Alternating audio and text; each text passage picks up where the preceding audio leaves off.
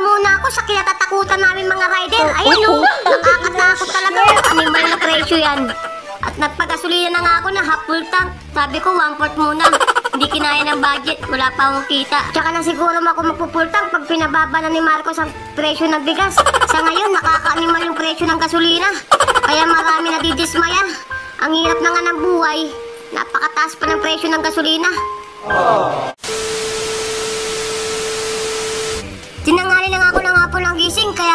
nagmamadali ako magbihis. Kaya yun, tuturuan ko kayo mag-magic tadan, parang tanga lang. At yun na nga, nagsipilyo na ako dyan, oh. Yun, oh, tinatanggal ko yung mga tartar ko dyan, oh. At yun, lumunok na nga ako ng tubig. Oh. At itong bunso ko, ayaw ko paalisin, ayaw ibigay sa akin yung susi, oh. Mamimiss niya daw kasi ako eh. Nalulungkot siya pag wala ako sa bahay. Ako lang kasi daw ang kalaro niya, si ate daw, salbahay. At yun na nga, naibigay niya sa akin, auto ni mami eh.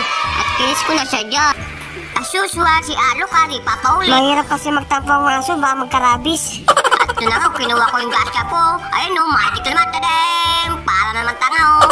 Ayun o, ayun o, ito pa, ito pa, o, o, o, o, ah, ah, ah, ah, Pwede ba ilayo mo sa akin? ito? Tingnan nyo, Ito, parang ito, tanga yun na nga, lumabas na ako ng bahay at nagbabay ang aking puso. Bye-bye! Paalis na si Daddy. Ingat ako. At sa mga tropa nating rider dyan ang mag nagmamaneho, ingat-ingat lang kasi may inuwian tayong pamilya at mga anak. At yun na nga, at di kalauna may pumasok na sa aking booking. At unang winamano ko na to. Maganda tos para sa unang panimula ng hapon. At nakarating na nga ako sa Chiquito Boy at pumarking. At yung pinunta ko yung tindera kung ilang minuto bang tatagal nito. Kasi inihaw na bangos daw tsaka pata. Sabi sa tindera, one hour daw abutin. Naku naman, napakamalas naman unang booking ko. Dito pa ako sa matagal na punta. At yun na nga, wala naman talaga kayong magawa kundi magantay. Ito talagang kapalaran namin. Pero huwag nyo naman kaming sasagarin. Kasi may pamilya rin kami. Sayang ang biyahe, sayang ang oras para sa amin. Many unbearable hours later. At sa long long time many years ago, natapos din ang aking order. Alas pagbilang ko na lahat ng sasakyan na dumadaan dito. eh. Siguro mga 1 million thousand pieces. At papunta na nga ako sa aking customer. At yun, dala ko na yung kanyang crispy kalabaw. Kasi napakatagal na ito eh. Ayop na kalabaw to. At nagsimula na ako mag-broom, broom, broom, broom, broom, broom. At yun, may nakita ako mga nagarali oh. Gago! Ko rally, yung pala sa gala. Kala ko may nagarali na dito eh. Ayun oh, ganda ni ate oh. At biglang inatake ng epilepsy ang aking camera. Hindi ko yata ito napainom ng gamit kanina. Nakalimutan ko. At yun oh, like siya nanginginig ng nanginginig. Hindi siya mapigilan. At di kalauna, napakalma ko rin siya. Kasi magkagabi Kaya yun, pinainom ko muna ng gamot. At papunta na nga uli ako sa aming tambayan. At dito na ako pumarking oh. At dito muna ako sa aming tinatambayan at wala yung ibang kagrab na ka-animal ah. At dito naman kasama ko si Dito Rocampo ng Paso de Blas. At yun, nagkwentuhan muna kami ni Tito Rocampo. Ang pogi niya talaga. Lalo na pag view. At yun na nga, pinasukan na ako ng booking dyan. At i-deliver ko na. Nakakatakot yung daan dito. Ang dilim mo. Ang labo na ng camera ko. Ay, nang paningin ko pala. At dito na nga, oh, nandito sa malaking puno daw siya nakatira. Tinatayuan ako ng balahibo dyan, pati yung balahibo ko sa baba, tumatayo. At yun na nga, nakita ko si Coach Ansay. Si Coach Ansay pala pumayat. Coach Ansay, ito na oh. Maraming salamat sa pag-order nyo sa Grab. Sana ulit-ulitin nyo. Enjoy your meals. At pumunta muna ako sa kinatatakutan namin mga rider. Ayan oh, nakakatakot talaga. Animal na presyo yan.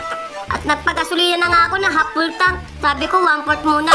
Hindi kinaya ng budget, wala pa akong kita. Tsaka na siguro ako magpupull tank pag pinababa na ni Marcos ang presyo ng bigas. Sa ngayon, nakaka-animal yung presyo ng gasolina. Kaya marami na didismaya. Ang hirap na nga ng buhay. Napakataas pa ng presyo ng gasolina. At bumalik na nga uli ako sa tambayan at unang lapag, booking agad.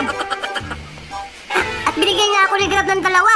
Kasi vlogger daw ako eh, kaya dalawa para sa akin. Cm ang layo ng pagitan ng customer. At yun na nga, pupuntahan ko na to. At tingnan ko muna na maigi, baka meron pang pangatlo. Pero wala na, hanggang dalawa lang talaga si Grab. Masyado nang abusado kung tatatlo pa. Ano kasi At yun na nga, nag-abangon na ako sa Jollibee. At Habang nag-aabang sa Jollibee, ay tingin ako itong mga tao. Dapat magsiuwi na to eh. Magpa-deliver na lang sila sa Grab para hindi na sila naghihirap pa pumila dyan. At tuluyan ko nang nililisan si Jollibee para i-deliver na itong mga in-order sa akin. Papunta na ako mga customer ko, hintayin niyo ako. At nag malago ako at nag-teleport at bumungad sa akin si madam. Sabi ko, dito na yung order niyo at kumuha siya ng pambayad. At mukhang pasosobrahan yata ni madam ang bayad niya at inabot na nga sa akin ang bayad. Sabi niya sa akin, ito, kill the chance. At nag-teleport ulit ako sa pangalawang customer ko at bumungad kagad sa akin to si Madam Beautiful. Ayan kuya, oh, bayad ko. oh. Kulang ng piso yan ha. Sabi ko, okay lang ma'am, basta maganda. Kahit kulang, pwede na. At bumalik na uli ako sa tambayan at